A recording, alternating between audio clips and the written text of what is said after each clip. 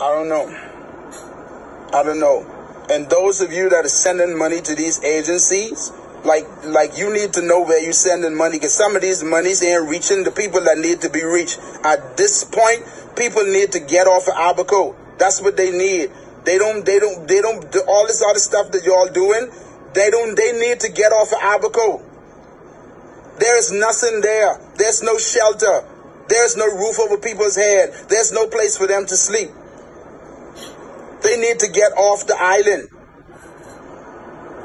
All this other, all this, all this other stuff that you're doing, it doesn't make any sense. People need to get off the island. There are dead bodies. The stench of death is everywhere.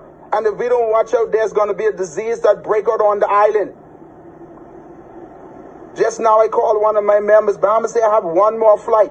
What time is it? I what 12 o'clock? They have one more flight today, one more. That means that little children got to sleep on the airport again. Why the hell you don't send a 737 that can hold up to 200 people? Why? Why? Shut down the whole thing. Let the people out of the island. Let people recalculate their lives. See if they can come to some state of normalcy somewhere else. If they want to go back, let them go back. But there's no normalcy in Abaco. There is no normalcy, man.